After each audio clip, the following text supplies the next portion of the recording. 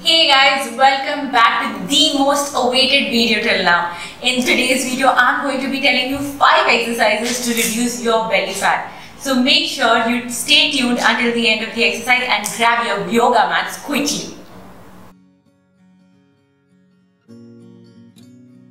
Hey guys, my name is Riya Bhansali and before we dive into the exercises today, do let me know if you have any such similar requests on my email ID at info at the rate or you can connect with me on my any of my social media handles Instagram, Facebook, LinkedIn at Riyyog.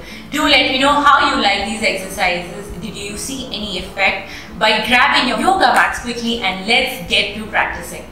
Just before you grab your yoga mat and start practicing, I want to tell you if you experience pain in any of these exercises, please consult a yoga teacher to know what you're going wrong and which part you need to correct. Don't enjoy yourself, just be safe and hope you get a fat belly soon. So let's begin. We will now begin with the Pawan Muktasana where I want you to take your hands back by breathing in and exhaling take your knee to your chest pressing it against your stomach. Breathing in release the posture. Breathing out hold the posture again pressing your leg against your stomach. Breathing in and next breathing out take both your knees to your chest and hold it. Breathing in, release, and repeat this exercise five times.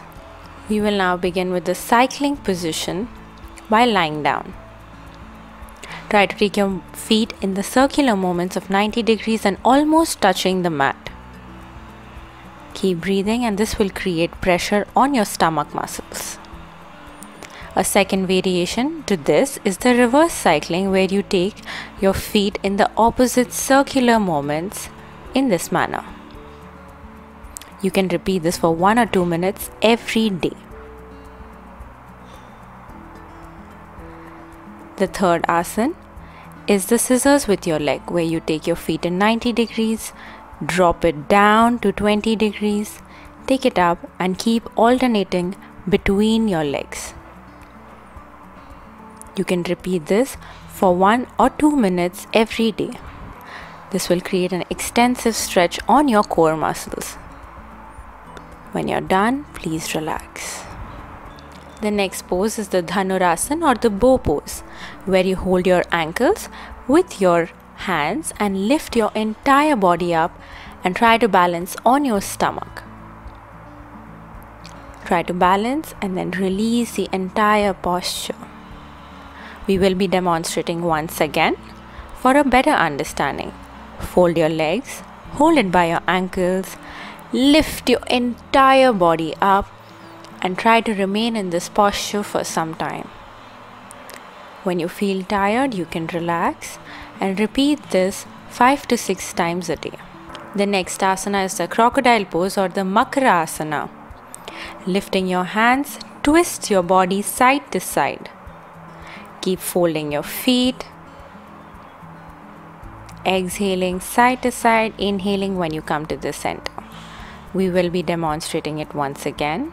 We want you to gently lift your body up with your hands and twist side to side, this time with a lot more speed. You can practice this for one minute every day. I hope you guys have enjoyed these exercises. If you have any other such similar requests, please write to me. In the comments below, also let me know which one is your favorite exercise. You should definitely be seeing a difference in 21 days if you practice it regularly for half an hour. Do let me know in the comment section and also give me a thumbs up if you've liked these exercises and have found it different. Until next time,